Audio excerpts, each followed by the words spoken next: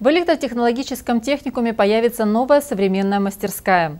Четыре славянских педагога признаны лучшими в России и получат денежную премию. Обследование на наркотики и алкоголь стало обязательным для всех водителей при прохождении медкомиссии. Об этом и многом другом смотрите в блоке коротких новостей.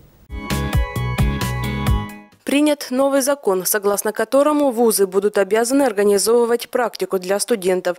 Практическая подготовка студентов станет частью программы обучения. При этом организовать ее можно будет как в самой образовательной организации, так и на предприятиях. Прежде обязательную практическую подготовку проходили только студенты, обучающиеся по четырем направлениям. Это специалисты авиационного и железнодорожного транспорта, а также медицинские и фармацевтические работники.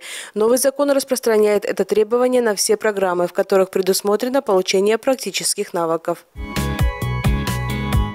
В Славянском электротехнологическом техникуме появится новая современная мастерская, оборудованная в соответствии с требованиями движения WorldSkills. Всего в рамках регионального проекта «Молодые профессионалы» национального проекта образования в колледжах и техникумах Кубани появится 18 мастерских. На эти цели из региональной казны выделено более 70 миллионов рублей.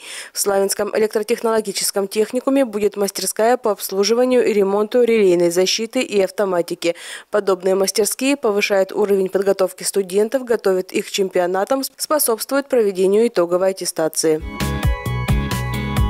С 2010 года в России в рамках приоритетного национального проекта образования проводится конкурс на получение денежного поощрения лучшими учителями. По его итогам ежегодно тысяча школьных педагогов удостаивается премии в размере 200 тысяч рублей.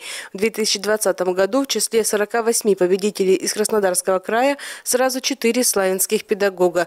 Галина Мирная, лицей номер один, Ирина Неволина, лицей номер четыре, Светлана Чуть, школа номер 25 и Ольга Ластовка, школа школа номер 28. Поздравляем славянских педагогов с заслуженной наградой.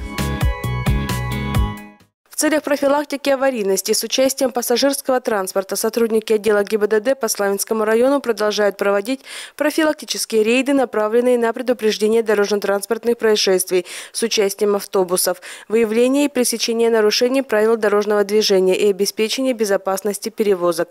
Госавтоинспекция Славянского района обращается ко всем водителям автобусов с просьбой быть более внимательными и осторожными при перевозке людей.